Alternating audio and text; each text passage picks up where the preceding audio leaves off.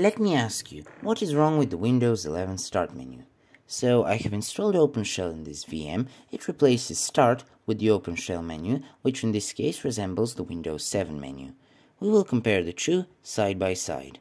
Let's get started. First, let's port the pinned items, then the recommended items, and finally the right pane.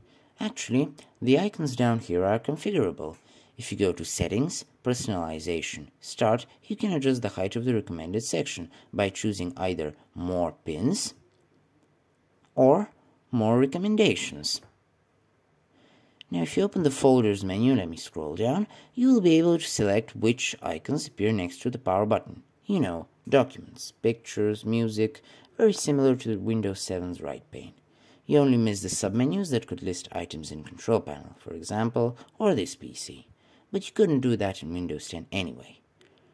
Let's port the profile picture, the search bar, the power options, and also the all programs button.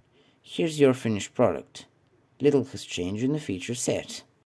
Let's continue with the all apps list, more compact in Windows 7. The most used apps are somewhat like the recommended items in front.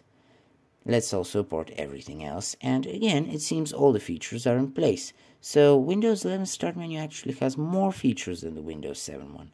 For example, this feature allows you to jump to a certain section of the app list. The search is also improved with web results. And you can always ask Bing your baking questions. In conclusion, I do still prefer the Windows 7 menu. Thanks for watching, subscribe, and I'll see you in the next video.